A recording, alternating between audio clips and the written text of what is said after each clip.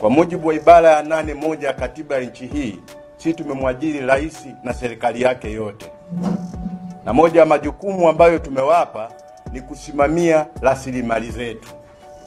Kwa hiyo sasa serikali ilikuwa na wajibu wa kutujibu kwamba ni kitu gani kilitokea wakasaini mkataba mbovu namna hii, aidha walilewa au walihongwa. Ni haki yetu sisi kujua, sisi tunawalipa mshahara, lakini hatukupaswa kutishwa.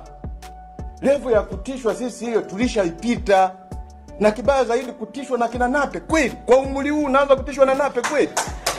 Levo tulionayo sasa hivi ya kutishwa, labda tutishwe na majenerali, ndo levo tuliofikia, lakini sio kutishwa na kina Nape.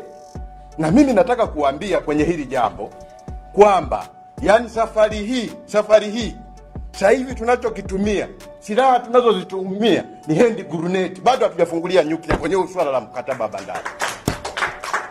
Na niwaambie mimi na wakili Mwabukusi tulishaanza ma, tulishaanza maandalizi ya maandamano. Asemi tu kwamba anasema anatoka mdomoni, tulishaanza maandalini maandalizi ya, ya maandamano ya kuandamana nchi nzima. Nitaongoza vijana nchi nzima wa vyama vyote na wasiokuwa na vyama kukataa huu mkataba. Kama kuna mwanaume anayeona yeye ni mwanaume kwa sababu ana bunduki au ana cheo, basi aje anizuie. Niko nimekaa hapa namsubiri, aje atuzuie kwenye hayo maandamano. Kwa, kwenye hili jambo sisi hatutakaa kimya, kwa sababu linahusu maisha yetu, linahusu kizazi chetu, linahusu watu wote bila kujali dini zao na vyama vyao.